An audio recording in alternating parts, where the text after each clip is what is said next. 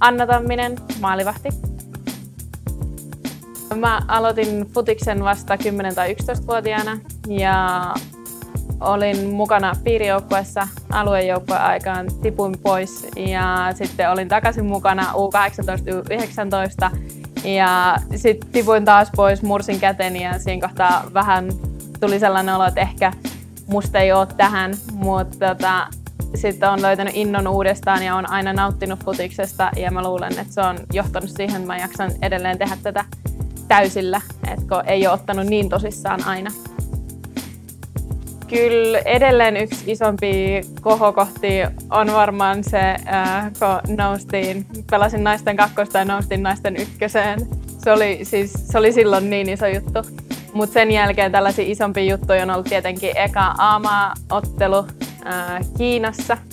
Äh, ylipäänsä se Kiinan reissu mun mielestä oli jotenkin todella siistiä päästä sellaisen niin kuin, tietyllä tapaa eksoottiseen paikkaan.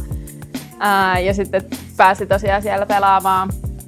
Ja sitten olen Unitedin kanssa tuplakulta viime vuonna. Ja toivottavasti mä voin lisätä EM-kisat tähän listaan pian. Jalkapallo merkitsee mulle tosi paljon. Ää, ei itsessään niin pelkästään se pelaaminen, vaan kaikki mitä tapahtuu siinä ympärillä, kaikki ihmiset, joukkuekaverit, seuran henkilöt, maajoukkue. Ja se, että pystyy tekemään täyspäiväisesti sitä, mistä nauttii, niin se on kyllä ihan, ihan huikeeta. Ää, jännitti ihan törkeästi. tuntui, se tuntui jotenkin tosi epätodelliselta sillä. Et ihan hirveä jännitys, mutta kyllä se sitten kun niinku pääsi siihen peliin mukaan ja ehkä sit sitä seuraavalla kerralla ei jännittänyt ihan yhtä paljon.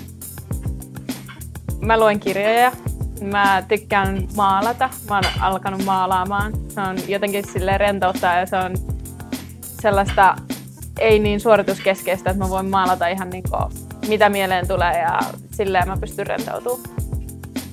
Mä oon aika avoin puhumaan itsestäni, mutta tietyllä tapaa mua mut pitää kohdata niin, että multa tullaan kysymään. Et mä en välttämättä tuo itteeni esille, jos ketään ei kysy multa, mutta jos mut kysyy, niin mä voin tosi helposti puhua ihmisten kanssa ja tykkään olla ihmisten seurassa.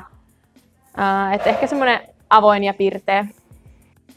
No nyt joulun aikaa mä pelasin tosi paljon sulkapalloa.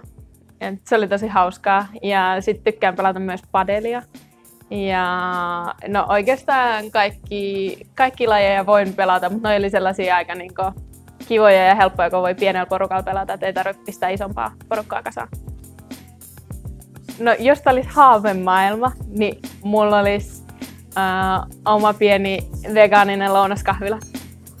Ja se antaa mulle mahdollisuuden äh, tehdä niitä juttuja, missä mä saan olla luova ja käyttää sitä mun omaa luovuutta.